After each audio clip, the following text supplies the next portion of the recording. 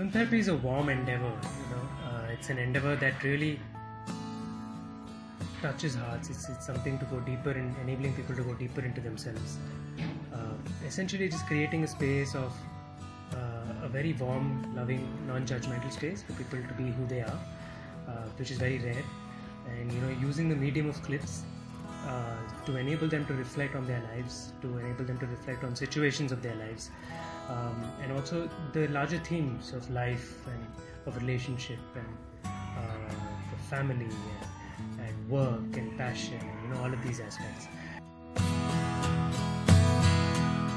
So I, uh, what I find really beautiful about it is that so many different people come with different aspects, different challenges, different elements of their life, and how all of these things intersect.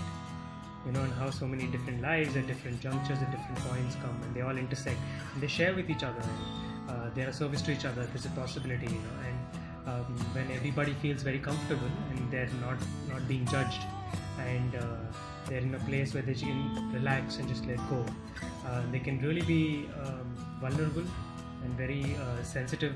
Uh, then I think a real um, a real softness happens through which know, we can deal with all the difficulties, uh, harshness, and challenges that life has. I actually kind of avoid movies, to be honest.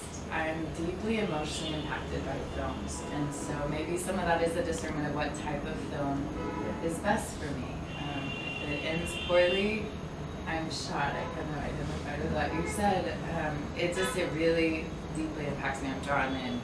Um, so yeah.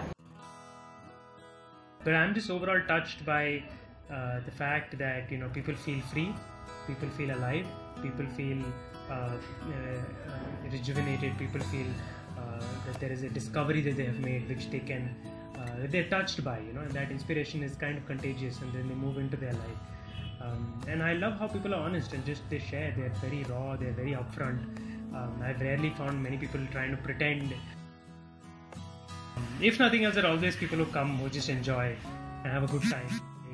Get to know all these different films. Almost everybody leaves with a set of new kind of ways of looking at things, set of good films that they can watch, uh, good sometimes even good friends that they make, um, or just this idea that there are different events that are happening, and that is something that I'm very touched by. You know.